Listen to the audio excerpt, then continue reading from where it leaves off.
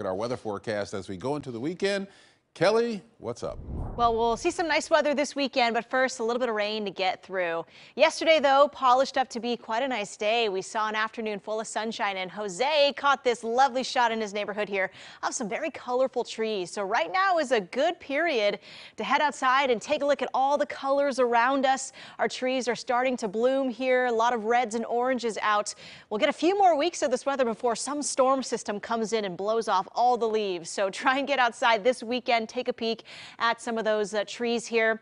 We've also been hinting at our winter to come and an event this weekend on Saturday morning is the annual winter weather conference that will go into detail of what we can expect in terms of snowfall maybe in Portland. Last year I presented at this. I'm not doing so this year, but it will still be uh, presented online on Zoom by the American Meteorological Society. They do it every single year, so it's a good thing to tune into if you're interested into uh, this winter and what we could expect. You can find find that link on the Oregon AMS Facebook page. It's free and it's hosted by our uh, KOIN 6 meteorologist Steve Pierce. So that's tomorrow morning at 10 a.m. And if you also want to know and read about it, I'll be coming out with my own outlook into what we can expect uh, this winter.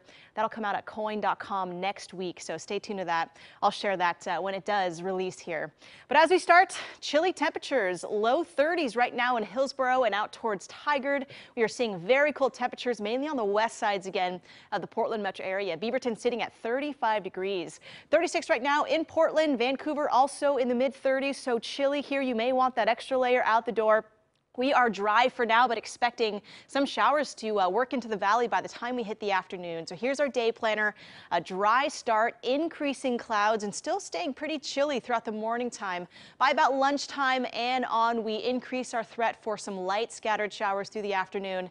We do dry up as we head into Saturday, so this system on the way in here will be a quick one that just brings a touch of some damp conditions here to the valley. There you can see it now starting to spread inland. Lots of showers now out towards areas of southwestern Washington. Same for the Washington coast and up north here. There's that weather system. It's coming in from the northwest. So showers will start to spread here likely around lunchtime and beyond. Here's our future cast that times that out. Increasing clouds and there's that leading edge of the front here bringing in, in that uh, rain. The coast expecting a bit more heavy showers here. Also towards the foothills of the coast range. Same goes for the Cascades and especially out towards areas of Washington. But Portland and the valley gets a bit of a rain shadow. So staying a little more dry. I'm not expecting a big washout, just a passing shower here and there today. Some damp conditions at times throughout our afternoon and evening. We dry out here quickly into our Saturday afternoon. We'll start to see a few snow showers out towards Mount Hood, but overall this system is not packing too much of a punch and we're not expecting too much snow even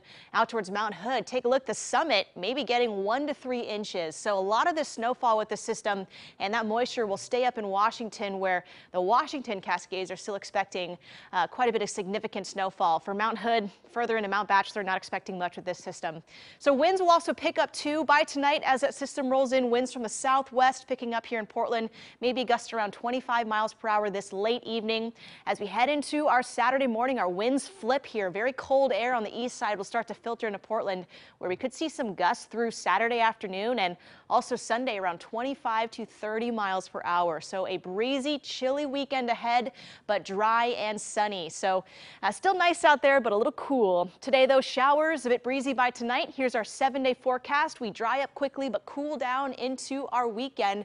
Notice those overnight lows into Sunday morning and Monday, close to freezing and below, but we do look dry heading into next week.